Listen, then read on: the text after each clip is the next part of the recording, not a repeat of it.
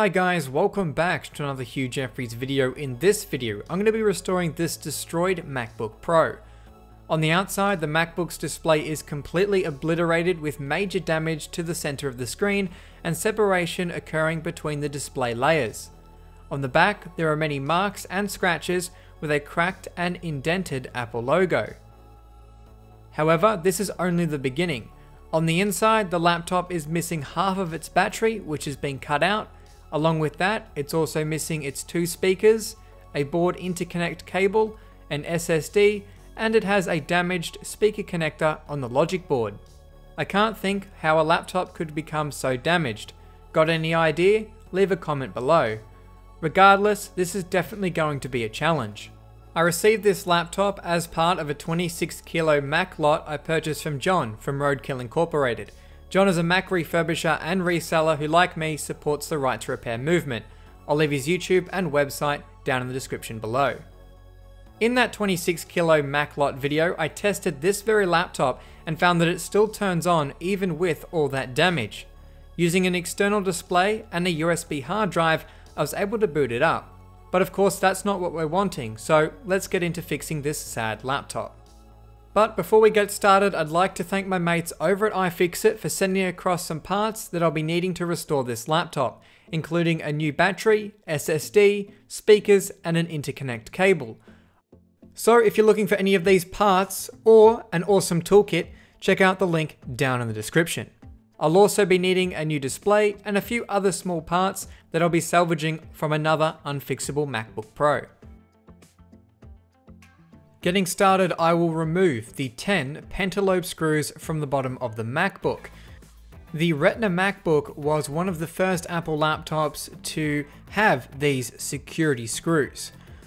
Inside, we can see the damage that I mentioned earlier, and the first thing I'm going to do is try and replace the damaged speaker connector. To remove the damaged connector, I'll use a soldering iron and a very tiny pair of tweezers to help me lift it up and away from the logic board. With that removed, we're going to need a replacement. So I'm going to be using this donor MacBook Pro, which I got in the same 26 kilo Mac lot as the laptop we're working on today. This one has catastrophic damage and is beyond any sort of repair. So this logic board is perfect for harvesting working components off. I'll be taking its speaker connector off and transferring it over to our working logic board. To do this, I use some hot air and heated from the bottom to avoid melting the connector. With it removed, I will clean up the solder pads on our working logic board to prep it for the installation of our new speaker connector. For reinstallation, I'll be using a soldering iron as hot air will likely melt the connector. To assist with installation, a microscope would be recommended for this, but as I don't have one, I just did it by eye. Once all the pins had been soldered on, I can move across to our battery and remove what's left of it. For this, I'll be using isopropyl alcohol as Apple no longer screws in the batteries for their MacBook Pro models. Apple went from hot swappable batteries to using security screws to now just gluing it into place. Not only is this harder for third party repair, but even Apple themselves. The isopropyl alcohol will help soften the adhesive underneath and then I can use a hard plastic card to try and break through the adhesive, releasing the battery cells. With our battery cells removed, I now need to clean up the residual adhesive. Using some special adhesive remover will help it break down and become easier to scrape away. It's disappointing to see the battery was glued in, Similar aged MacBook Airs use screws instead, which is a much better method to what we see here. And this makes the battery replacements so much easier. You can see just how long and how much scraping is required to properly remove all of the old adhesive. After cleaning everything up, it's time to remove the last component of the battery, which is its charging circuit, which is still connected to the MacBook Pro's logic board. Underneath is a little spacer which we'll also need to remove to ensure it doesn't get lost.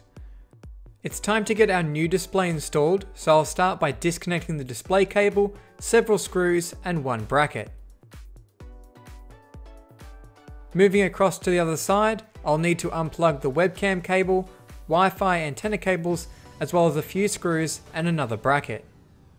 With those out, the display simply lifts out of place. A replacement display is a used part which costs an absurd 450 Australian dollars. More disappointing than that is it came with loose hinges, so I'm going to have to open it up and fix that first. This display was the cheapest I could find. Other sellers were selling them for over $700, which is more than it costs to buy the entire computer used. Displays for the newer USB-C MacBooks are significantly cheaper. I believe this is because the older MacBooks are in high demand given them having more ports and a small amount of upgradability. As for this display panel, I'll need to remove the screws, apply some new thread locker, and tighten everything back down. Honestly, for the price I pay for this display, I believe the seller should have done that, although he obviously didn't. I'll reinstall the clutch cover, slide everything back on, and we should have a working display. Lining our display up with the body of the MacBook, I can simply put one screw in each side before closing the lid, which will allow me to correctly line the display up with the frame to ensure it's not leaning to one side. Then I can apply some thread locker and fasten all of the screws and brackets securing everything into place. Applying the little foam pieces on top of the screws, I can begin connecting all of the cables back into place. After connecting the display cable, I'll reconnect the webcam and the three antenna wires going to the Wi-Fi card. I can then crack out the iFixit replacement interconnect cable to connect the daughter board to the main logic board of the MacBook Pro. I'll also take the time to remove the screws that are still remaining from where the speakers once were. You can see, given how bent they were, how much force someone put on these poor speakers trying to rip them out of place, not realizing there was another screw in there. Removing the SSD caddy, you can see Apple's proprietary SSD connector, but this one also seems to have some slight damage to the cable, and as I had another one laying around, I'm just to swap it out with that. For our SSD, I'll be using this one from OWC, which is custom made to fit Apple's proprietary connector for the SSD. I have gotten away with using an adapter with newer MacBooks to connect regular SSDs, so you might want to go that route as well. It's time to crack out our new replacement battery and get that installed into this MacBook Pro. The top portion is actually screwed into place, but the bottom is only glued. For our screws, I had to salvage some and I found some in my parts bin which are actually from iPhone 4Ss. They're all the same size and worked perfectly for this use. With the top portion of the battery in, all that remains to do is to get the lower half seated into position. Adhering it down into place, I can then attach the speakers. I will reuse the bent screw for the speaker as I couldn't find any replacements, so I had to work with what I had. I did find screws to fit in the lower section, but couldn't find any for the upper part of each speaker, so they'll be missing one screw each. After they're fastened into position, I can route and connect each cable. With our major repairs completed, it's time to give the laptop a bit of maintenance by replacing the 7 year old thermal paste and give the fans a bit of a clean. In return, the laptop may run a bit cooler. After removing the heatsink, we can get a look at what I would call a lot of thermal paste. Cleaning that off with some isopropyl alcohol, I'll move across to the fans and get those cleaned up before we get the heatsink reinstalled. I will open up each fan and give it a bit of a brush out to remove most of the dirt that's built up inside. After I'm happy with each fan, I can reassemble it and install it back into our MacBook Pro.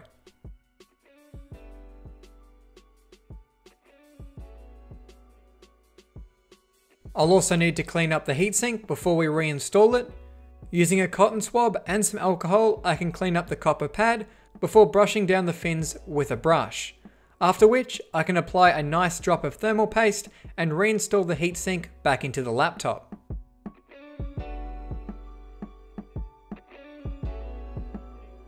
Proceeding, I'll clean the inside of the laptop with some alcohol to remove any fingerprints and dust, and just brush off the motherboard as well. I can now reconnect our battery by screwing it down into position with its several screws. I'll reinstall some of the rubber gaskets that go around the heatsink pipe, as well as the little rubber feet that go on the screws over the processor. You may have noticed this laptop is missing two little pieces of plastic which grip onto the back casing. I'll salvage them from my donor MacBook for use with this one. With those both installed, I can quickly clean down the back housing of this MacBook before we reinstall it. Positioning it into place, I can fasten the 10 Pentalobe 5 screws to seal up the MacBook. But you can see it's still looking pretty gross on the outside. So now we can use some adhesive remover and some isopropyl alcohol to give this computer a complete clean to remove any of the dirt and grime buildup on the old parts as well as our new display. I can remove the sticker from the inside of the laptop and give the palm rest and keyboard a good clean before finally wiping down the display. And we're done. So this is it. A once badly destroyed MacBook is now in a working condition. This particular laptop is an early 2013 model with a 2.6 GHz Intel Core i5 and 8 GB of RAM. It can run 10.8 to the latest version of macOS 10. After having soldered on a new speaker connector, we can take a listen and see that both sides are working as they should. This MacBook is far from perfect. It contains a few minor marks and scratches around the housing. Either way though, we are left with a fully functional MacBook Pro. And on that note, this has been a Hugh Jeffreys video. If you like what you saw, hit that subscribe button and consider checking out the computer playlist for more videos just like this one. And if you're looking for any tips or what tools I use to repair devices, be sure to check out my website, link for which is down in the description. That's all for this video, and I'll catch you guys next time.